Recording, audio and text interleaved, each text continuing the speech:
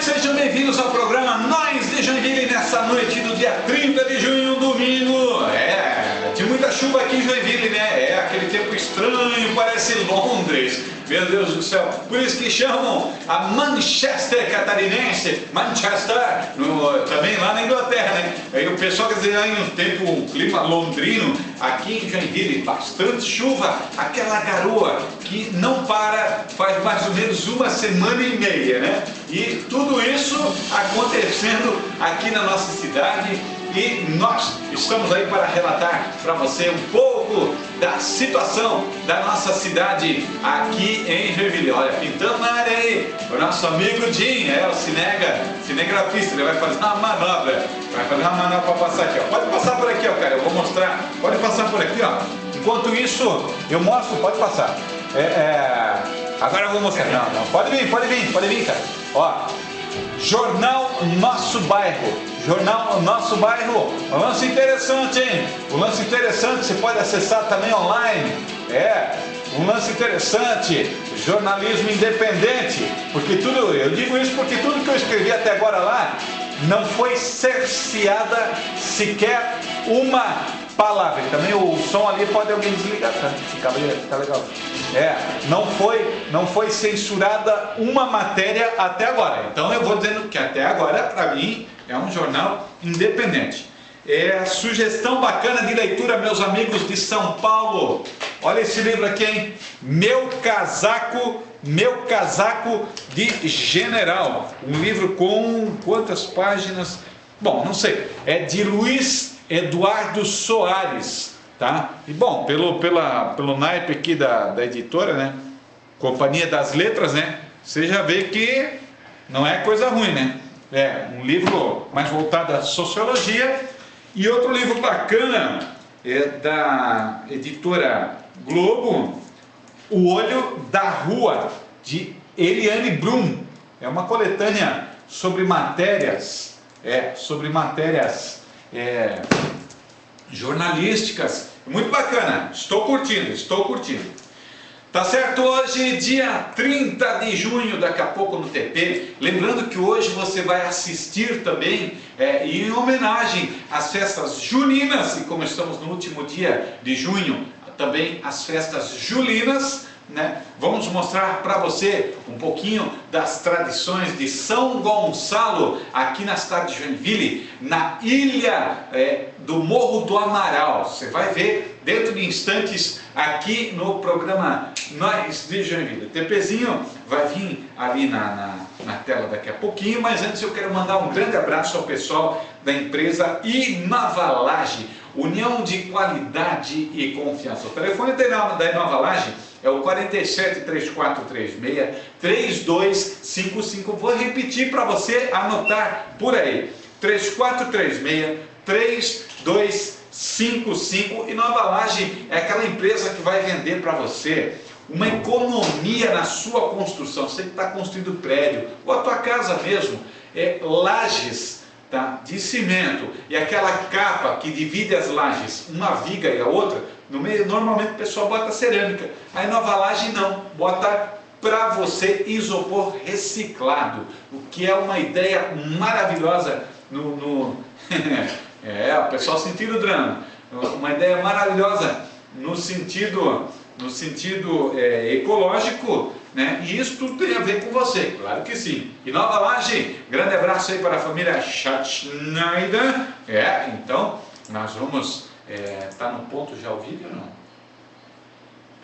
Mas antes disso, é, eu quero uma, uma, dar uma subidinha um pouquinho demais lá, ó, que eu não vi o, o, a efeméride, é, as datas de hoje, aí ó, não, mais um pouquinho, mais um pouquinho, porque eu quero falar de uma parada cardíaca, aí ó, olha aí, 1988, mas o que tem 1988 a ver com o dia de hoje?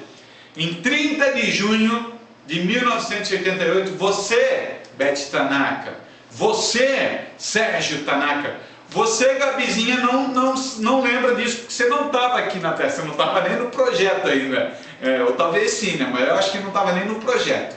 Em 1988, Abelardo Barbosa, o apresentador de TV, ele era conhecido como Chacrinha.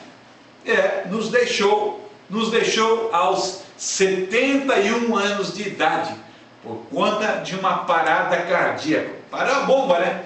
Parou a bomba, meu amigo. Passou, né? Passou. Muita gente boa já foi nessa. Muita gente boa já foi. Nós temos aí a imagem do Chacrinha, é isso que você está procurando ou não? Não? Então deixa quieto. Amanhã, no dia 1 de julho, é, será comemorado o Dia da Força Aérea. Dia da Força Aérea, amanhã, no dia 1 de julho. É, você, meu amigo do programa Nas Joinville, deve estar perguntando, sim, mas o cara não vai falar, o Brasil, Brasil é, é tetra, é tetra, é, que nem aquela, aquela, uma vez fizeram uma, uma entrevista, né, um cara lá, vai Brasil, traz o treta, traz o treta, puta, né, o treta, não, é tetra, é tetra, Copa das Confederações, né, seleção brasileira voltou a disputar uma final né, no estádio depois de 24 anos. Você sabia disso? É. A última vez foi na Copa América em 1989, quando o Brasil derrotou o Uruguai. Eu lembro, eu lembro, 1989, aos meus 19 aninhos. Quando o Brasil derrotou o Uruguai, eu estava em Balneário Barra do Sul, na casa de minha mãe, e olhava é, do lado de fora ao sol, né? Eu pegando muito sol sempre, né? É, me arrependo de algumas coisas. Me arrependo de algumas coisas. Mas em 1989 eu assistia pela sacada, minha mãe comemorando. Olha filho, fomos campeão, fomos campeão. É, já dizia. Abraço Áurea. E abraço também um beijo lá para Santa, a Santa lá na Alemanha. Abração, beijão para vocês aí na Alemanha, hein? É, e o Brasil chegou lá, né? Seleção brasileira de futebol. Mas naquela época, em 1979, o Brasil derrotou o Uruguai. E na Copa do Mundo de 1950, quando o Brasil e Espanha também se enfrentaram no Maracanã, a exemplo de hoje, durante a Copa do Mundo daquele ano, né, é, teve este embate. E a seleção brasileira venceu por 6 a 1. É, foi a maior goleada entre todos os oito jogos já realizados entre os dois times. Hoje só faltou deixar a Espanha de quatro. Né? Três, meteram três, tinha que ter deixado de quatro. Até porque, com todo respeito aos meus amigos da etnia italiana, aos meus amigos da etnia portuguesa, aos meus amigos da etnia alemã ou germânica, como queiram melhor, aos meus amigos, é, vou deixar os japoneses fora disso, aos meus amigos poloneses, nós somos invasores aqui no Brasil. Não, como assim? Não, eu sou brasileiro. Sim, sim. Basta, não, não sou, não estou não, batendo martelo nenhum. Basta você olhar a história, a história e isso tudo que eu estou dizendo vai se comprovar. Os portugueses, os espanhóis, também holandeses estiveram aqui, pilharam esse país. Agora, a Espanha, né, que bacana, esteve aí nesse, durante essas três semanas praticamente aqui no Brasil, né? Fizeram festas maravilhosas, né? Muitas prostitutas brasileiras, né? É é histórico, né? Vir aqui, pegar a mulherada daqui, né? Levar o ouro embora, né? Fazendo uma analogia com o futebol, essa vez o ouro ficou, mas é um ouro simbólico. Claro que a FIFA vai pagar à seleção brasileira é, um prêmio em dinheiro ou em ouro, como queiram entender, pela conquista é, do campeonato da Copa das Confederações, é claro. Mas esse ouro que eles vão deixar aqui é muito pouco em relação ao que eles vão levar, agora me referindo à FIFA, e ao que os espanhóis, os portugueses, né, já levaram em outras épocas da nossa história. Mas tudo bem, é, vamos lá, Copa das Confederações, é, passou o choro, as lágrimas, né? É, do brasileiro que aí se empolga, né? É, um processo de revolução acontecendo, muita gente não vai para a rua. E agora, veja aí o Brasil conquistando a Copa das Confederações, vizinhos meus aí soltando foguete, pô, buzinaço na rua, pô, legal, hein? Legal? Quer dizer que antes estava tudo legal, o importante é o futebol. Isto, minha gente, esta conquista dessa Copa das Confederações não é nada. Isso não é nada. No que é que isso interfere aí na sua vida? Ah, não é nada não, não. O que é que isso interfere na tua vida aí? Com exceção que hoje tem um monte de gente enchendo a cara em casa, vai pegar o carro daqui a pouco, vai provocar acidentes, vai ser atropelado, vai brigar, vai ser esfaqueado, vai esfaquear, vai ser baleado, vai balear. O que é que isso muda na tua vida? Eu, eu pergunto agora, eu pergunto. Eu estou errado? Não, mas você tem que estar tá comemorando, cara. Se não é brasileiro, eu sou brasileiro. Não, é porque você é de descendência alemã. Não, não, eu sou brasileiro. Tenho nome de americano, nome de americano, James, é James, é americano. Descendência alemã, mas esses dois, esses dois quesitos, não batem esse um aqui, não. É, vamos mostrar esse aqui, né? Se eu mostrar aqui, vamos mostrar esse aqui. Não batem esse que é o principal. Eu sou brasileiro. Tanto que quando eu fui, né, alguns vinte e poucos, vinte e tantos anos atrás para a Alemanha, né, eu soube bem o que um brasileiro representa lá na Alemanha. Eu sei também o que um brasileiro representa para os espanhóis que nos deportam, né? Eu sei bem o que um brasileiro representa para um francês. Né? Eles, eles acham-se, eles acham-se, né?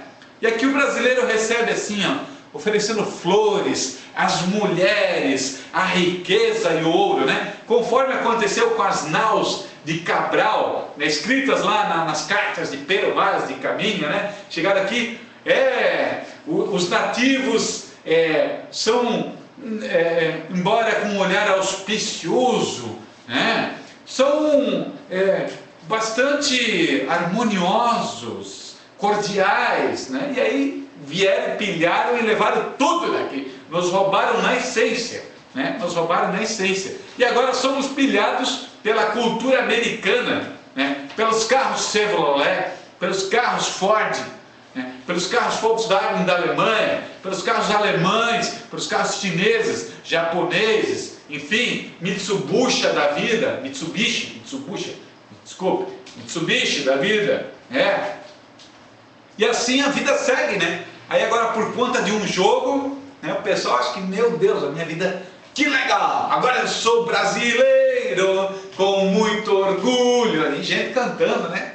Que legal, vamos para a rua amanhã Vamos para frente da Câmara de Vereadores de Joinville amanhã pedir pedir para que aqueles aqueles trabalhem trabalhem mais pela não, mas tem gente que trabalha não, mas tem gente lá que não está trabalhando.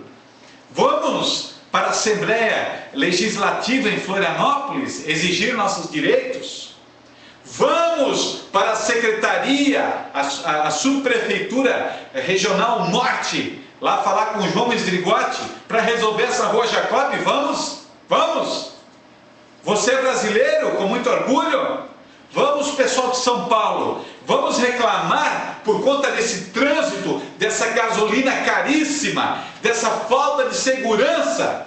Vamos, pessoal do Rio de Janeiro, vamos por conta da poluição lá da Baía da Guanabara, da Rodrigo de Fleitas, hein? Vamos reclamar por isso. Vamos, pessoal do Nordeste, reclamar por conta da, daquela obra da transposição do Rio São Francisco para irrigar, meu Deus do céu, para trazer água para o gado que está morrendo seco em couro e osso branco embaixo daquele sol implacável. Vamos, vamos.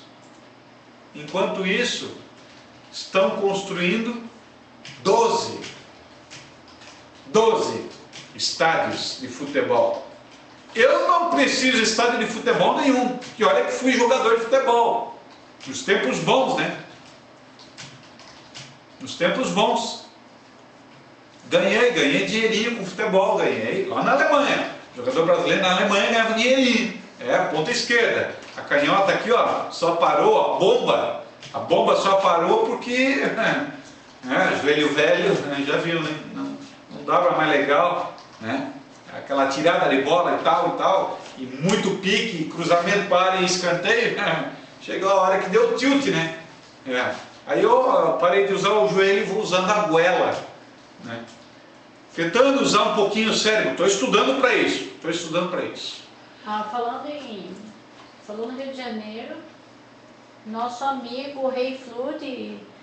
de Concórdia. Concórdia. Meu amigo, Ele que é bacana. carioca, tá? Ah, é carioca? Eu ia dizer, rei Flu é rei Fluminense. É. Este cara pra mim é Fluminense. Eu na hora que bati o olho disse, pá, Fred, o cara deve estar pulando, né? Aliás, o Fred, Então. meu Deus do céu, estão jogando confete no Neymar, né? Mas aquele Fred joga muita bola, jogador Então, só, né? só não tirando porque você já puxa lá pro outro lado. Né? A gente dá uma viajada, né? A gente chama ele de rei, o apelido dele é rei mesmo, tá? Opa, Reinaldo. E Flu é por causa do Fluminense. Aê, é, eu sou meio detetive, É, o né? nome, nome real dele é, é Gilson, o Gilson! nosso amigo Ó, hoje. abração aqui, ó. Abração aqui da equipe do programa Nadjeli. E uma daquelas Master que está lá na Vitória sendo construída é dele, Ah, tá? que bacana. Vai fazer está uma matéria boas- legal lá, se Deus está, quiser. Tais em boas mãos, meu filho. Tais em boas mãos, o meu filho. Que legal, que legal. Agora eu quero mostrar para você, meu amigo Gilson, você é, que está na cidade de Concórdia, é, eu quero mostrar um pouquinho da tradição do folclore de Joinville nessa época de junho. Nessa época de, de, de- junho, nós temos aqui as festividades juninas e julinas.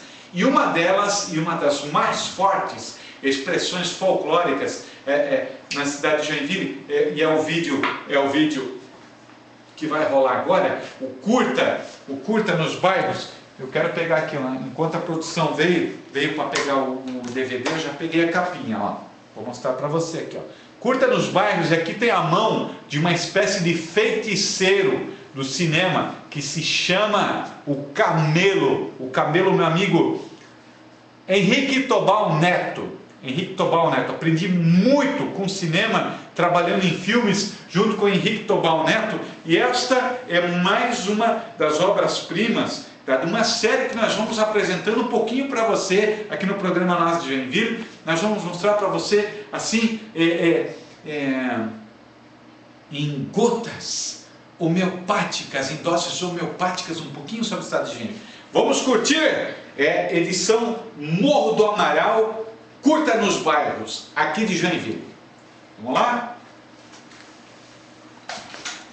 Tá ligado esse troço aqui? Ah, deram um, um rodo ali, o que, que foi? Não, não, tem que ligar toda a... a- a-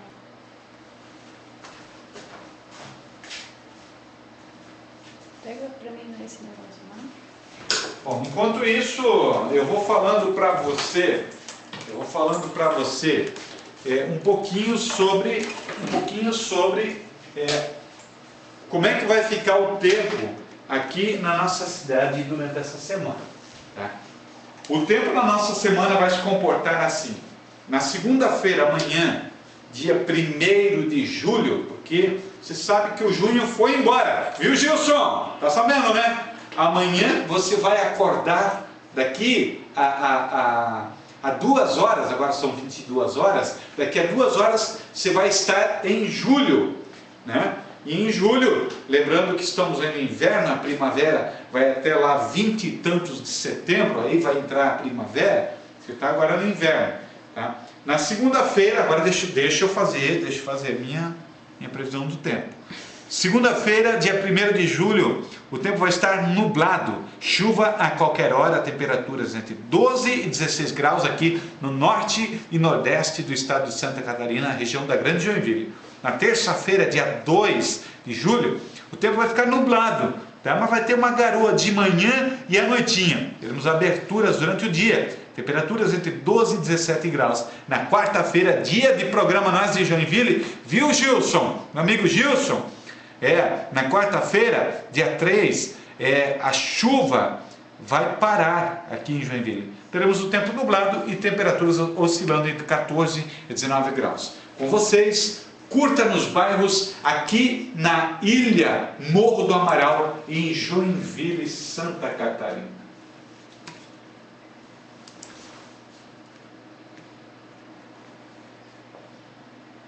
Quando ele chegou aqui, vamos dizer assim, tinha umas seis famílias, mais ou menos naquele tempo, família Amaral, naturalmente, onde é a origem do Morro do Amaral, a predominância da família tinham, né?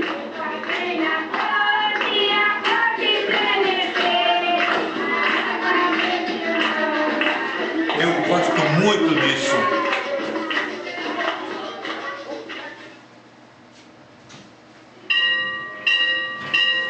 Joinville na Sotela! Ali, então, tinha igreja, ele era o capelão, era o professor, e já o inspetor de quarteirão, naquele tempo, esse título que dava ah, essas funções, né? E com o tempo, então, a capitania não pagou mais ele.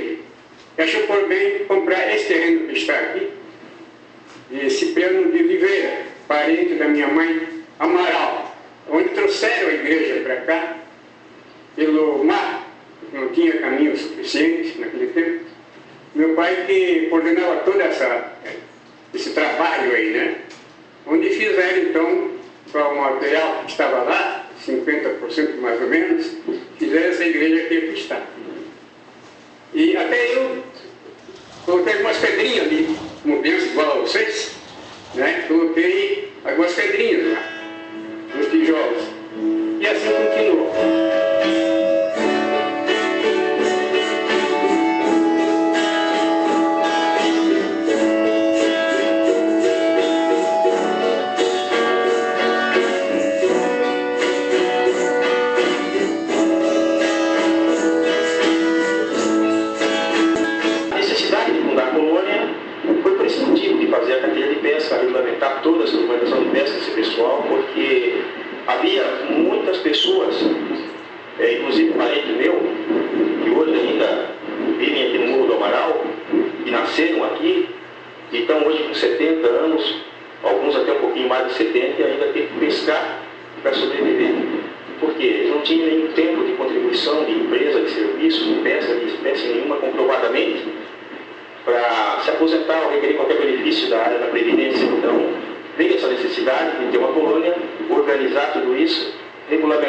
Negócio. Então, hoje, já tem gente se aposentando na colônia, a colônia cuida de todo esse trabalho, né, essa área social, de aposentadoria, é, de doença, auxílio ao idoso, enfim.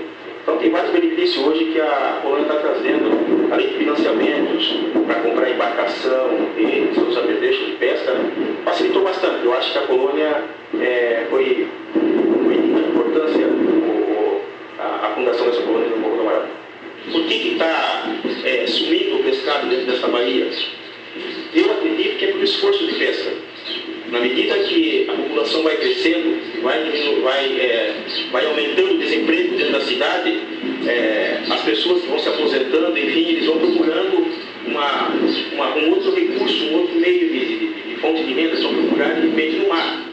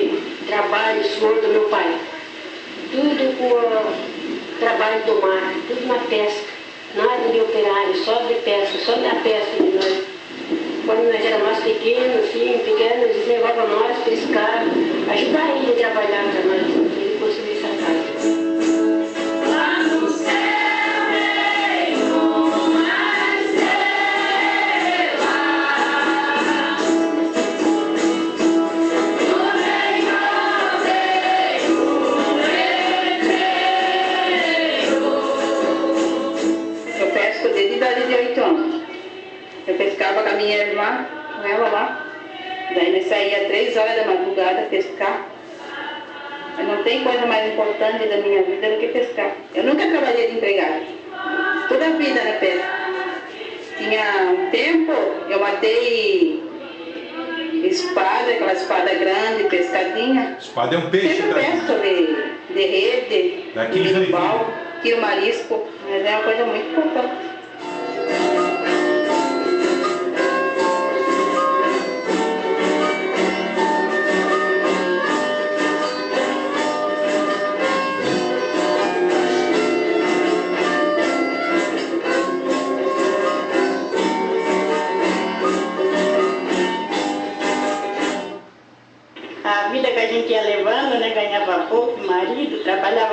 À noite e nós trabalhava de manhã para sustentar a família, que era muito, né?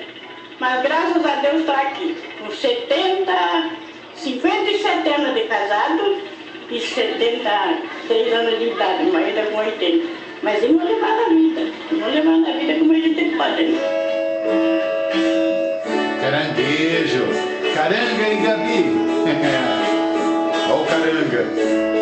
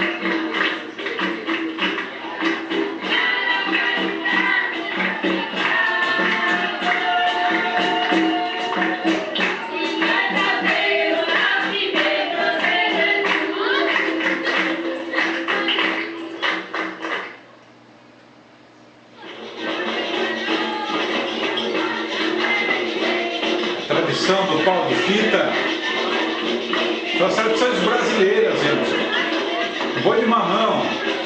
Olha a zica. A zica aí, ó. Sai, zica! A zica, sai, zica! Essa é a zica.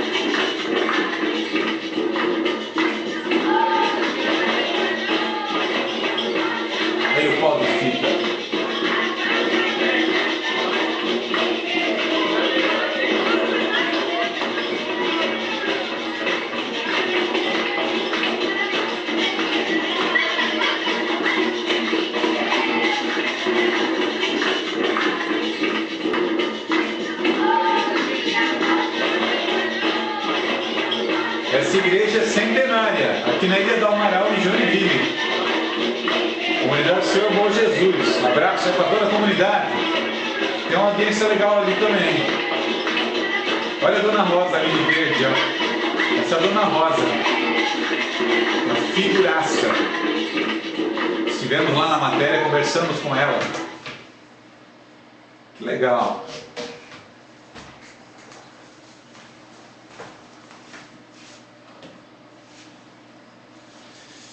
Então, gente boa! Aí você acompanha Os créditos finais. é, os créditos de quem participou, trabalhou, enfim.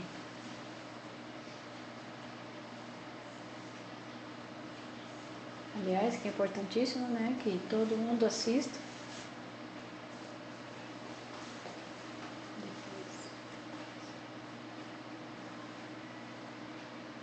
É, Joinville não é só uma cidade que detém o recorde das chuvas. Joinville é uma cidade muito dinâmica, bonita, um povo ordeiro. É, Um lance muito bacana. E é o que a gente vem mostrando para você, até porque o programa se chama Nós de Joinville. Nós estamos aqui no oferecimento da Inova Laje, é, a equipe técnica é a Keila na direção, o Dinho nos computadores e eu, James Klaus, na apresentação. E quando eu falo que as chuvas né, é, é, são talvez um recorde aqui no Joinville, é, infelizmente a chuva deixou desalo, desalojados no Planalto Norte, no Planalto Norte do estado de Santa Catarina. Quero mandar um grande abraço ao pessoal de Três Barras, né? meu amigo Altair, principalmente Altair, né? é, passa de 80 o número de famílias desalojadas por conta da chuva é, que está acontecendo e aconteceu no, no, no, último sábado em Três Barras, no Planalto Norte do estado de Santa Catarina. É, há quatro dias a Defesa Civil começou a fazer o atendimento aos atingidos pelos alagamentos né? Na tarde desse sábado, no, no, de ontem, no caso, a Prefeitura do município decretou situação de emergência, situação muito crítica na região é, do bairro São Cristóvão, a maioria dos atingidos em três barras é, foi levada para casas de parentes. O, os que não têm para onde ir estão abrigados no ginásio de escola, é, é da escola Caique. É, também a situação está crítica em Porto União, Irineópolis, Mafra, Bela Vista, do Todo, Itaiópolis e Timbó Grande. E a situação é a mesma nessas cidades, né? Em Porto União, o Rio Iguaçu está mais de 5 metros acima do nível normal. É, enquanto as pessoas comemoram e saem às ruas para comemorar uh, o tetracampeonato na Copa das Confederações, eu pediria que saíssem também em prol do pessoal de Três Barras, da nossa Santa Catarina, e olhassem antes para o problema de fora, para o seu próprio problema. Tá certo? O programa Nós de Joinville agradece a sua audiência, a sua participação. Um beijo no coração de vocês. Gilson de Concórdia, pessoal de São Paulo, Tanacas, o, o, os meus amigos, os Pivares, né, que são três, né, são três, é, os meus amigos de Curitiba, Cecília Alejandro, um beijo muito grande. Meu amigo Lourenço, para você não vou mandar beijo, vou mandar um abraço. Tá certo, gente boa? Pessoal da Rua Jacob, a família Rodrigues da Lacoste, que não estão nos assistindo, pessoal aqui do, dos vizinhos. Eu fui ali para fora, o pessoal dando tchau, que legal, hein? Pessoal lá de, do Paraná, de dois vizinhos também. Dois vizinhos, que bacana, que bom, que carinho é esse. E lembrando que aqui no programa lá Joinville, mande informação para cá. Claro que a gente vai apurar. E aqui você tem voz e vez. Valeu, gente boa! Até quarta-feira. Tchau!